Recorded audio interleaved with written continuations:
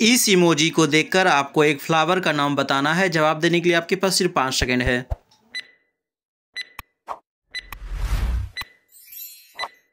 दोस्तों, इसका सही जवाब है क्लोव पिंक। वीडियो देखने के लिए आपका बहुत बहुत धन्यवाद।